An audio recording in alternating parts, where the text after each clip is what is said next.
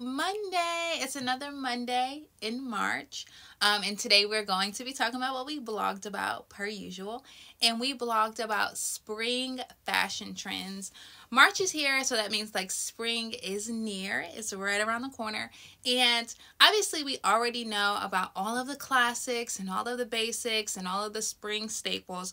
All of them will still be here. Pastels are still here. Florals are still here. Lightweight fabrics are still here. They're never going to go anywhere. Those are our spring staples. What we're going to talk about today are some spring trends.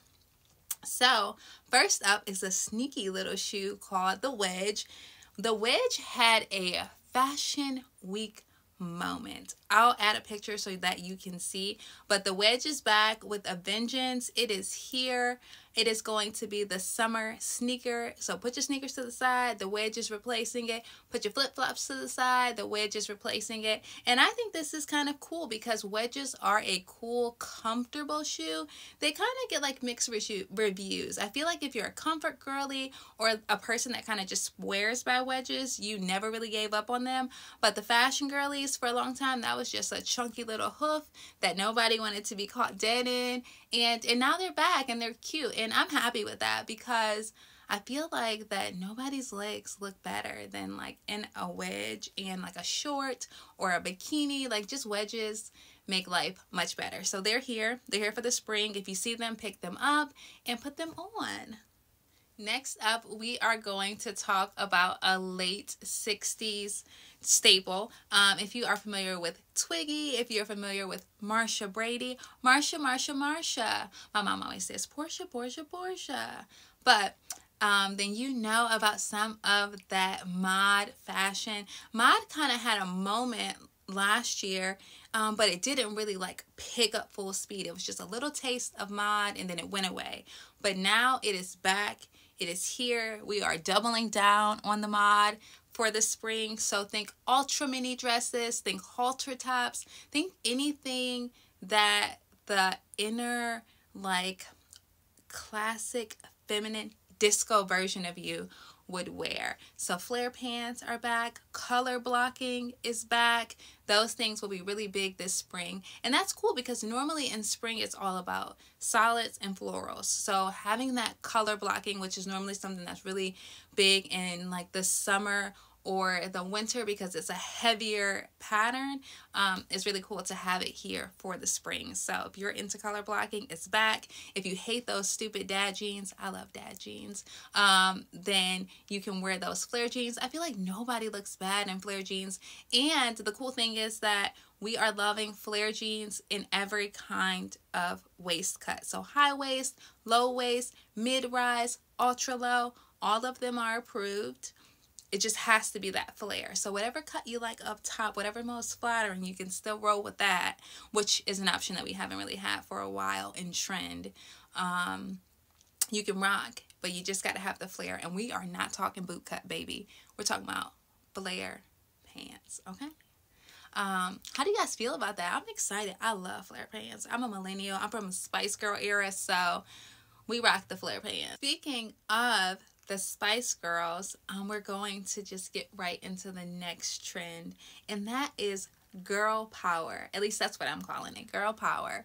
Um, and that is the ultra, ultra feminine vibes. So you want to think like anything that is deemed to be like super girly and very delicate. So the mo most feminine version of yourself. So we're talking butterflies, we're talking baby pinks and light blues and silk and lace and all of those like really really feminine touches. And then we're edging it out a little bit with texture. So think 3D flowers and 3D floral patterns and um, some creping and, and just adding a little texture and weight to that feminine. So you got the girl with the colors and the fabrics and you got the power with the texture. So just put those two things together and you can get into the girl power trend. Okay?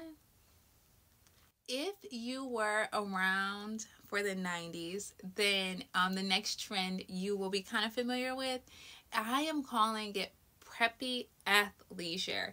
Um, in the 90s, Tommy Hilfiger was like everything to everybody. And he kind of combined that preppy, you know, casual look, but put rela- relaxed touches and features on it. And, and it was really popular, it went crazy everywhere. So in the 90s, everybody was dressed like some kind of bougie athlete. Like we were all playing polo in the 90s. And that's coming back. So we're moving away from um, the athleisure that we've been wearing. So you want to think about like the uh, Juicy uh, Juicy Couture sets, those velour sets. We're to pause on them for a little bit. For comfort, we're to pause on the like legging and like matching bralettes.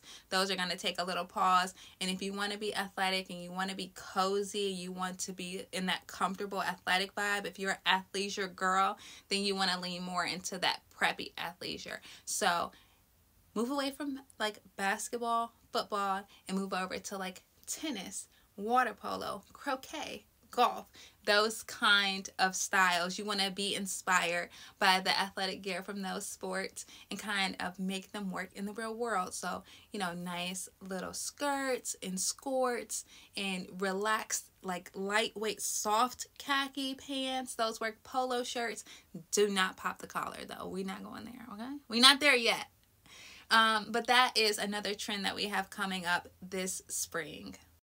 So those are the new trends that are popping up for the spring that we have to look out for and we have the opportunity to have some fun with. Um, and then we have some trends that are following us from the fall into the spring. So um, we will still be having that thin fringe. Thin fringe is here and it's staying. The metallics are still staying here, which makes sense because it gives that mod taste. It gives like that disco mod uh, collaboration that's really popular right now. And then we are also um, going to be bringing the mob wife aesthetic into the spring, which is very interesting because that is like a heavier, darker aesthetic. Um, it feels like that it is you know, dying out, but it's still hanging around for a couple more months. So if you haven't got a chance to try it out, give it a try. Um, and because you got a little bit more time, it's, it's still popular. So what I want to know is what fashion trend are you most excited about? I am super excited for a very Brady spring. I love the Brady's. I love mod. Um, I love flare pants. Obviously, I said that a million times. I'm very excited to try that. I'm also very interested in like getting more into the girl power. I am super girly, but um, I don't really do a whole lot with texture all the time, so that's going to be fun. I want to know what you want to try, what you think we shouldn't be trying, what we should move away from, what trends did I miss, what are your favorite spring classics. Um, just let me know below. Do not forget to like and subscribe, like and subscribe. Don't forget to share with your BFF, your best fashion friend. Um, and if you want to continue the conversation, uh, just meet me over on Instagram or on TikTok at Porsche Porshia. That's P O R S C H E P O R S H I A. Thank you, dolls, for coming out. Have a happy Monday. Don't forget to set your clocks forward if you haven't already did that. Bye.